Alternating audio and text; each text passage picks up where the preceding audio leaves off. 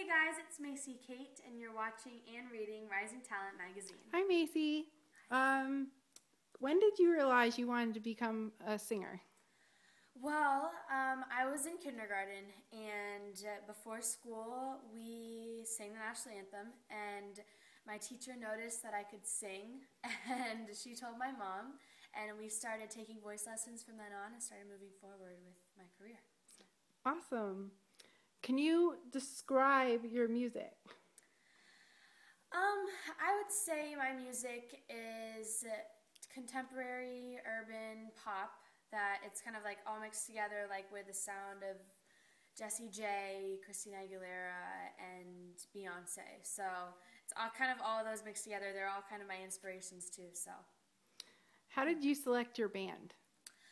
Well, I think it's important for me to have a band that is my age and that I can connect with also. And I know a lot of bands now are um, there. Are, there are some teenage bands, but I hear a lot of in the rock and roll side a lot of older, more professional guys, and I think there's a lot of talented teenagers in the world. So we uh, found these amazing guys to be in my band, and they're attractive. They look like One Direction, so uh, I think a lot of my audience will appeal to them too. So.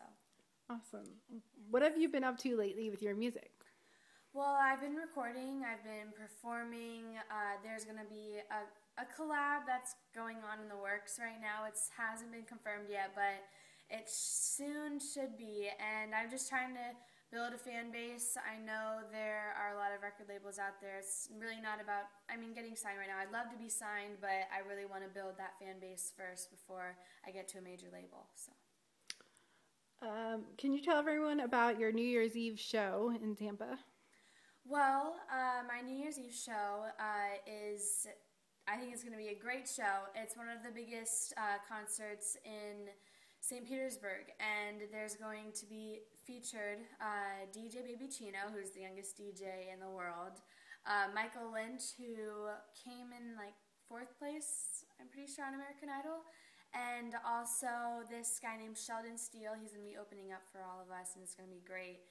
And uh, I think it's just going to be a great show. Uh, we've been preparing and rehearsing and everything for this, so it's going to be great. What songs do you have planned for the New Year's Eve show?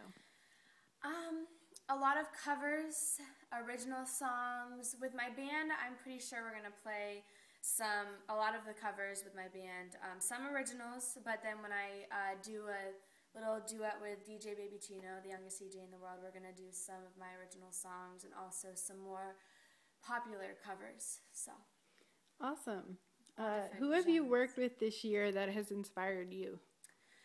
Um, well, there's this girl. Her name is Lexi Haas, and I met her I think about a month ago, and she's inspired me to do great things. And I actually wrote a song for her with um, my producer Drew Lane and it's a very touching song. It's also very inspiring, and I think that it helps her get through all of her surgeries, helps her stay strong, and I really hope she gets inspired by that song because I put I put a lot of good thought into that song, and so did Drew, and I think it's a pretty amazing song that deserves to be listened to. So, um, do you have a favorite memory from this year involving your music?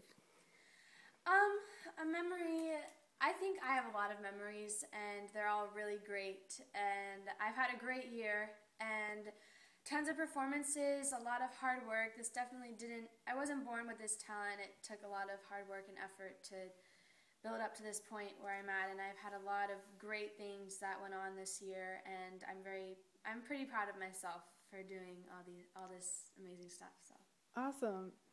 Do you have any plans with your music for the beginning of next year, for the new year? Um, I do. I have a couple of tours that are in the works right now. They're still being confirmed, but um, they should be confirmed within the next month or two. So I should be getting back to that soon. I'm doing a performance in Atlanta called uh, Eddie's Attic. It's where Justin Bieber started out and started performing, and John Mayer.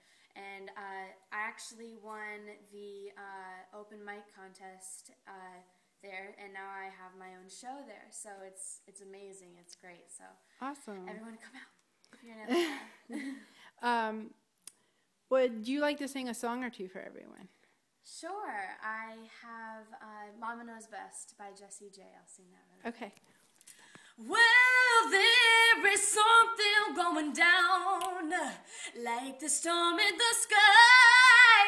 Oh, I can I trust someone who's lying to me? So, better go. Now I said, better leave. I said, take your stuff and go. Cause you're not for me, no. Mama knows best when, yeah, times get hard. Yeah, Papa always has a joke to make me laugh. See, Mama knows best when I feel down to bring me up and always keep my feet on the ground. Yeah, see, I ain't no rag doll. Yeah, yeah. Oh, yeah, yeah. Oh, oh, oh, oh. See, mama knows best. See, daddy, daddy knows best. See, mama, mama knows. Skribab, skribab, skribab, blah, blah, blah, blah.